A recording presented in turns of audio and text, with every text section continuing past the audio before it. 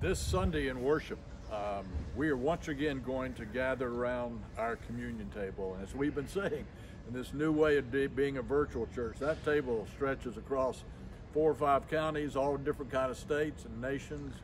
But it'll be a great opportunity for us once again to celebrate um, and have that moment of Thanksgiving and that Eucharist together. So this is what you'll need to do between now and Sunday morning. Um, find your elements, the juice, the bread, have a place for them in your home. Some of you still have time to get us pictures of your altar.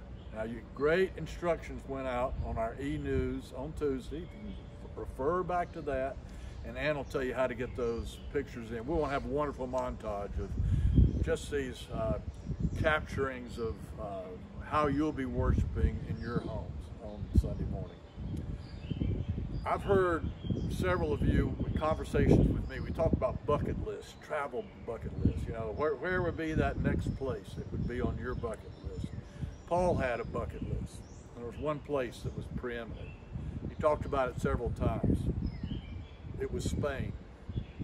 You know, Paul was a preeminent world traveler. He went to every port and every whistle stop in the Mediterranean world, and he had this joy of kind of crossing ethnic, national boundaries he had never crossed before. And Spain was that just wonderful possibility for him. He wrote to his friends in Rome. He said, oh, I'm going to be coming by. I'll see you for a few days, and I'm on my way to Spain. he never got there. He spent the rest of his days in a Roman prison cell. His plans and hopes and dreams were interrupted and so many of us have found ourselves caught in this season of interruption.